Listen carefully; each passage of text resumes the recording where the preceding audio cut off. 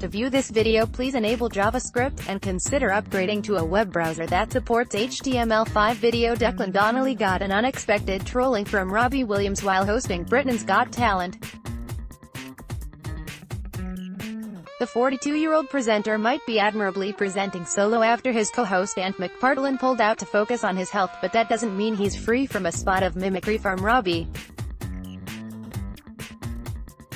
As Dec introduced the next act in front of the audience, Robbie could be seen seated over his shoulder delivering his interpretation of Dec's words.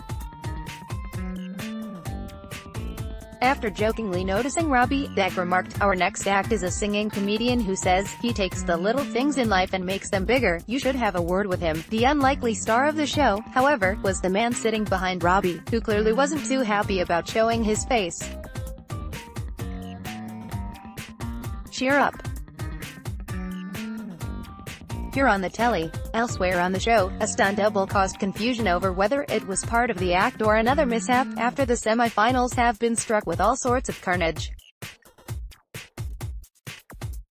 Britain's Got Talent is set to conclude with the live final on Sunday ITV at 7.30 p.m.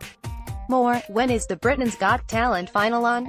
More, Declan Donnelly spanks David Walliams for chucking confetti at him on Britain's Got Talent.